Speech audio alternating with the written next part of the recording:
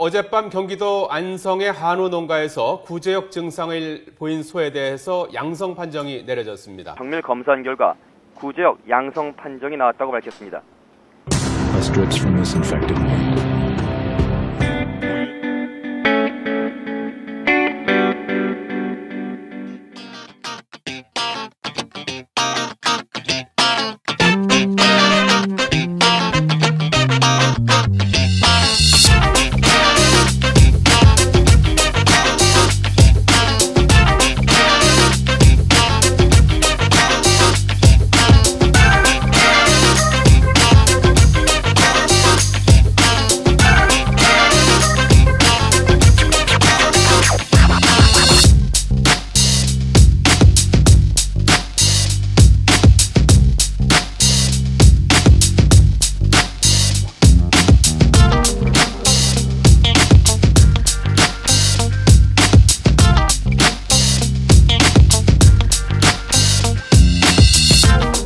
순간 살인력이 뛰어나고 유두에 붙어 있는 것을 잘 불려가지고 잘 닦아주는 그런 효과가 뛰어나서 거기에 그거를 사용하는 집들은 어떤 집은 그거 없으면 젖을 못 잔다 할 정도로 효과가 좋습니다. 어, 네. 나우크린이라는 거예요.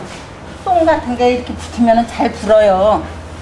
이 붓기를 잘 불어갖고 잘 닦이고 소독도 참 잘 되고 세균이 저기 되지가 않으니까 좋죠. 그러니까 등급도 잘 받아요. 편해요. 찍어주고요.